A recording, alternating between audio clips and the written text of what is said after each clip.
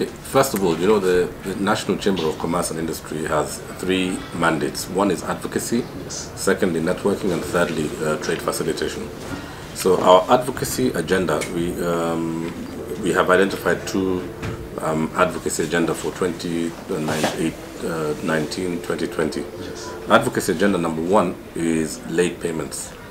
And advocacy agenda number two is multiple uh, license regime that is prevailing, especially with devolved government. So, focusing on late payments, uh, the Chamber has conducted a research, and um, the, re- the, the findings of that research are quite um, um, worrying. Because uh, we, what we found is that there is an endemic cultural issue in the country today about payments, uh, emanating firstly from delayed payments to contractors and service providers by the central government. Um, this has a knock-on effect because you see the county governments also rely on uh, exchequer release from the central government. So the 15% that goes on to county governments is many times delayed and has a consequential knock-on effect for delays in payment to service providers and contractors at the county level. Now, that's not the end of the story. The, it gets the plot thickens. I mean, we have also established that now um, large corporates, um, are, including even commercial banks that are in, uh, in profitability, um, are you know reneging on their contractual obligations and delaying payments um, to many of their of their um, contractual partners.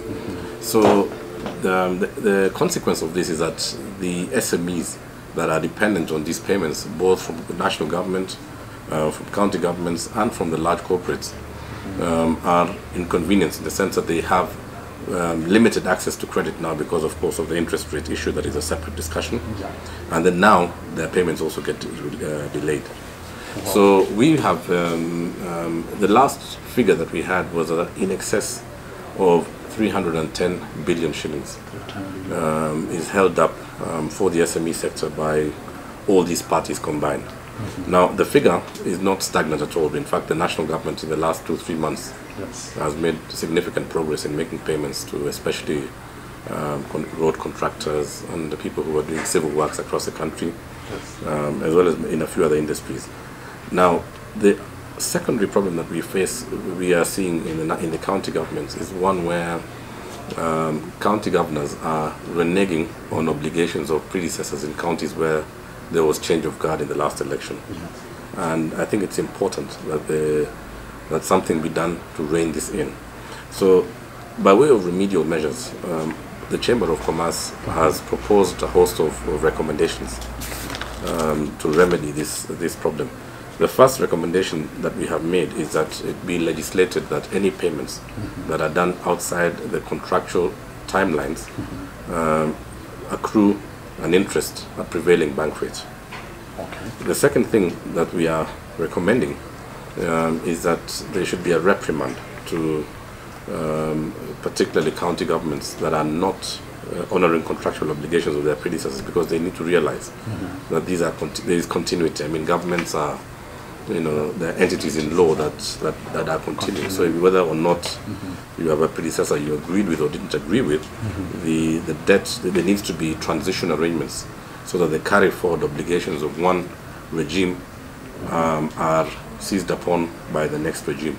So the next regime doesn't come in and start to incur its own liabilities to the exclusion of all those who are providing services and were in contractual relationship with the previous governments. The thing about the chamber is that we are, represent the broad spectrum of business.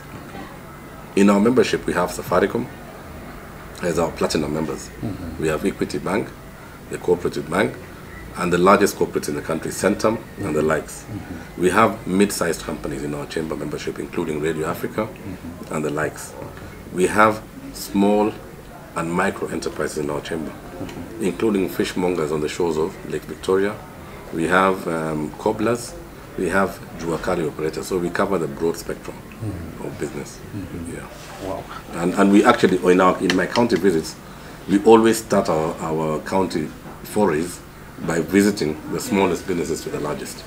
Yes. Uh, uh, so in, in Kakamega tomorrow morning, I'll be meeting with the boda boda operators. And then from the boda boda operators, I'll be meeting the sugarcane um, farmers. And then later on in the day, we shall be meeting with the corporates for a dinner function.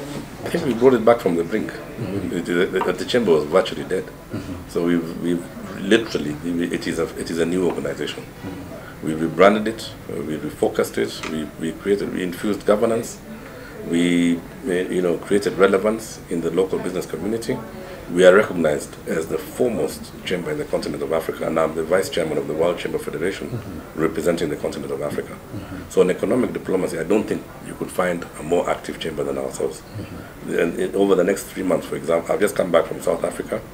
We have a delegation right now in Mauritius. Uh, next week, we have another delegation going to Russia. We have one to, I'm leading uh, my last trade mission to Brazil and uh, Colombia mm-hmm. in June. We have a trade mission coming in from France. We have one to Rwanda next month. So we are globally active. We've signed over 120 MOUs, and, the, and locally we are very, very actively engaged with uh, the business communities. Mm-hmm. What is what is your challenge to those who vying for this position? My, my challenge to them is that I think many of them don't know that it's actually a position for service. Mm -hmm. I mean, they need to realize that this is something that you've got to give your life to. I mean, it's not about uh, it's not about the the graces that you get with it or the respect that you get or the recognition that you get. It's about service to the business community. Mm -hmm. yeah. wow. And I'm really proud that, that we've seen very powerful business personalities mm -hmm. coming in and, and showing an interest. I'm sure you're aware there are people flying all over the country now to try and uh, take over my position. Uh, and I need to remind them that there's no salary for this job as well. well, well done. Very good. Yeah, thanks. Okay.